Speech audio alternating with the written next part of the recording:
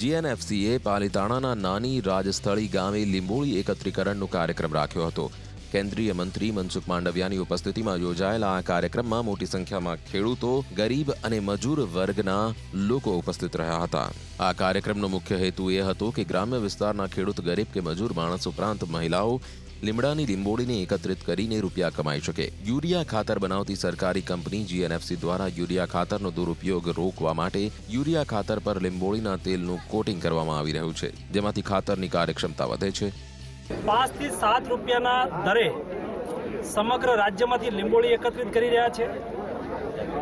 Self help group અને ખેડૂતો પોતાના શેડા ઉપર રહેલા લીમડાથી એકત્રિત કરેલી લીંબોળીઓ એ વેચી શકે અને એમાંથી પૂરક આવક મેળવી શકે. આ ઉદ્દેશ્ય સાથે આ કૃષિ શિબિરનું આયોજન કરવામાં આવ્યું હતું. અને આજે માનનીય મંત્રી શ્રી મનસુખભાઈ માંડવિયા સાહેબના હસ્તે એટલે એમની હાજરીમાં એમને લીંબોળીની ટોપી જે સ્વીકાર કર્યો, એના દ્વારા ગુજરાતમાં આ પ્રોજેક્ટની શરૂઆત કરવામાં આવી છે.